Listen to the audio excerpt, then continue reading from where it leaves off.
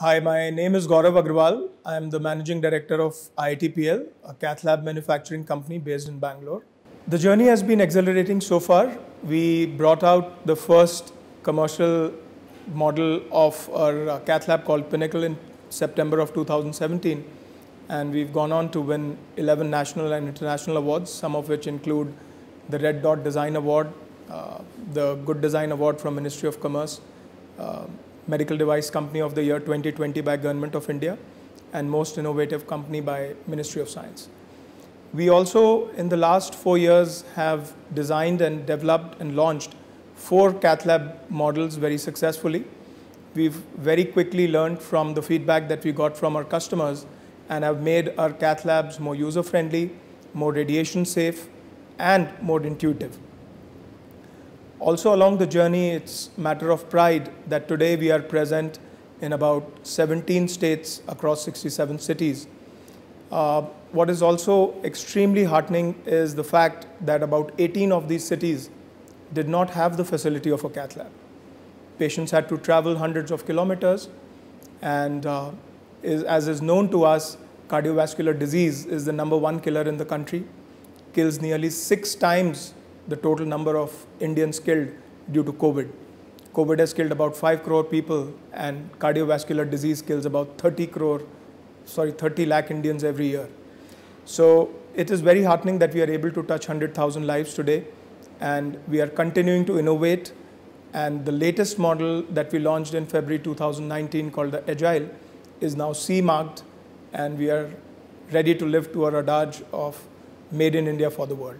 There were three premises uh, that uh, we started our journey with. First, we wanted to make the smallest cath lab, the cath lab with the smallest footprint in the world.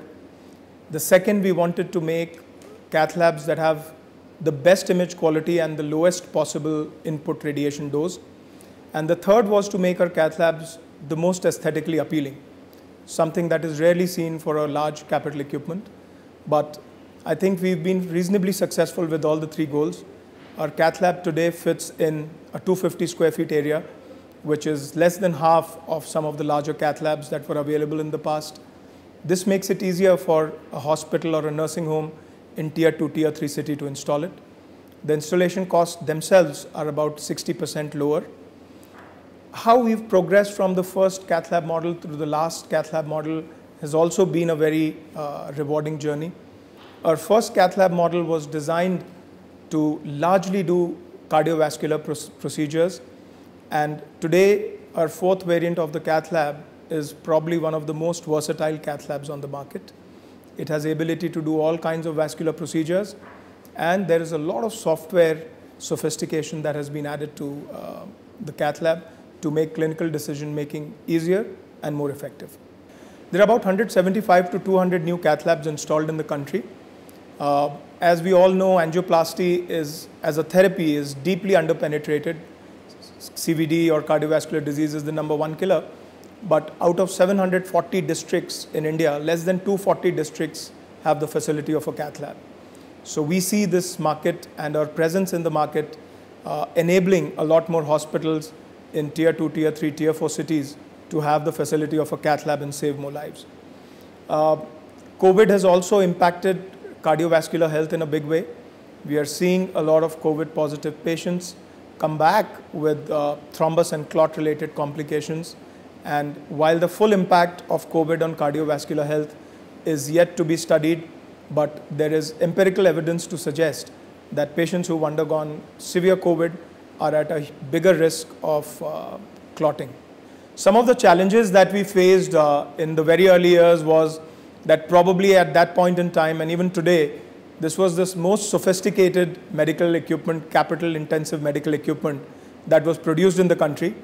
And the entire ecosystem of vendors that had mechanical parts, electrical parts, electronic parts, X-ray components was just not there we had to struggle to build that ecosystem ourselves. For example, we have very large castings of C-arms. Uh, typically, these were parts that was always imported, but we developed the whole IP around casting them in India, and we are proud to say that we are one of the only companies in Asia that does its own C-arm castings. There were several challenges along the way, but I'm proud to say that the environment, the macro environment, the policy environment is a lot more supportive today. We are seeing a lot more being done, especially on the electronic side. We are seeing there are uh, chip manufacturing companies, ESD companies, uh, and several other electronic components are now being made in India, which is a huge enabler for a company like us.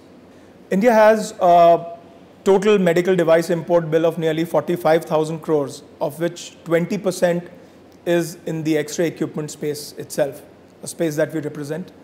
Uh, our view going forward to make India Atmanirbhar, at least in X-ray equipments, is that by 2030, we plan to have a cath lab in all the 720 odd districts of the country. And if we are able to do that, we would have significantly cut India's import bill, at least on the cath lab side.